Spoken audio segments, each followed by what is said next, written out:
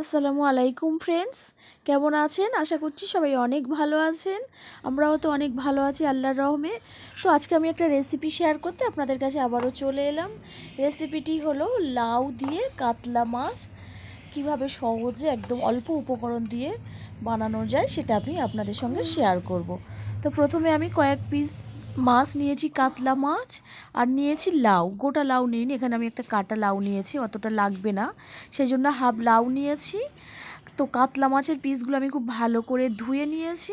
লবণ আর হলুদ মাখিয়ে এটা আমি ভেজে নেব। তো লবণ হলুদ মাখানো হয়ে গেছে, একটা কড়াই উনুনে বসিয়ে দিয়েছি। কড়াইটা গরম হয়ে গেলে দিয়ে দিয়েছিলাম তেল, তারপরে মাছগুলো দিয়ে দুপিট এপিট ওপিট করে দুপিট একটু লাল লাল করে ভেজে নিয়েছি। তারপরে আমি লাউটা খোসাটা এরকমভাবে ছাড়িয়ে নিয়ে লাউটা পিস পিস করে কেটে নেব। মাছ দিয়ে রান্নার জন্য লাউয়ের পিসটা হবে একটু পাতলা মতো।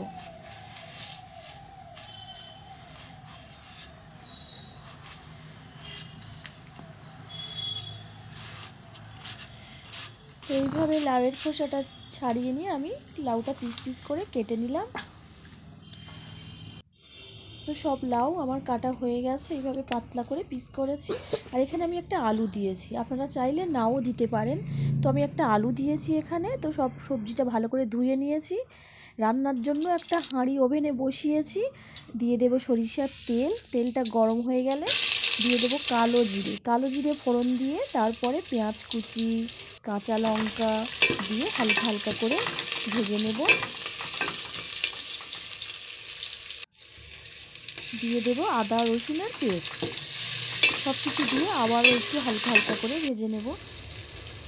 হলুদ গুঁড়ো দেব। দিয়ে দেবো আগে থেকে কেটে রাখা লাউ আর আলু। লাউ আর আলুটা দিয়ে সব উপকরণের সঙ্গে একটু ভালো করে মাখিয়ে নেব। একটা হাতা খুন্তি দিয়ে এরকমভাবে কষিয়ে নেব। তারপরে দিয়ে দেব পর্যাপ্ত পরিমাণে লবণ। লবণটা দিয়েও আবারও একটু আমি ভালো করে এরকম সমস্ত মশলার সঙ্গে কষিয়ে নেব।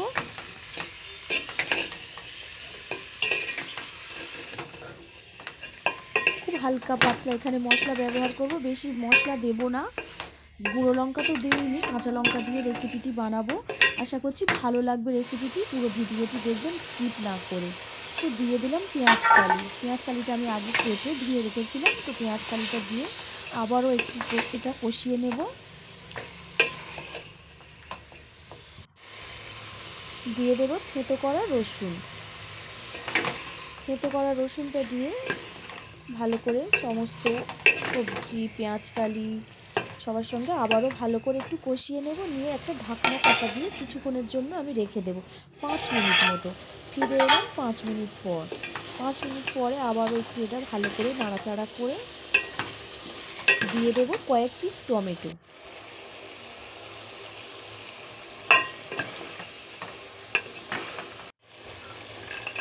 দিয়ে দেবো মটরশুঁটি।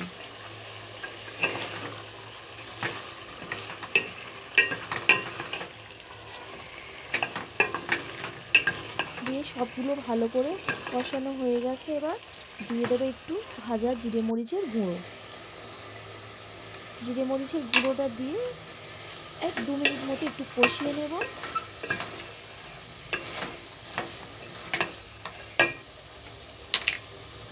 এইভাবে আপনারা বানাবেন বাড়িতে, খুব ভালো লাগবে আর আমার ভিডিওটি যারা দেখছেন, তাদেরকে অসংখ্য ধন্যবাদ। চ্যানেলটি সাবস্ক্রাইব করে দেবেন প্লিজ বন্ধুরা। তো সব কষে নিয়ে ভালো করে দিয়ে দিলাম রান্না করার জন্য পরিমাণ মতো পানি। আর তারপরে আগে থেকে ভেজে রাখা মাছগুলো। দিয়ে ঢাকনা চাপা দিয়ে আরও কিছুক্ষণ আমি রান্না করে নিলাম। তো রান্নাটা কমপ্লিট হয়ে গেছে। দিয়ে দেব ধনিয়া পাতা কুচি।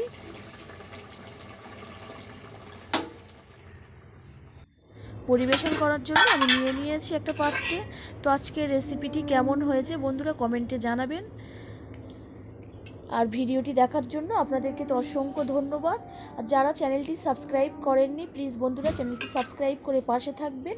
আজকের এই পর্যন্ত দেখা হচ্ছে অন্য কোনো ভিডিওতে।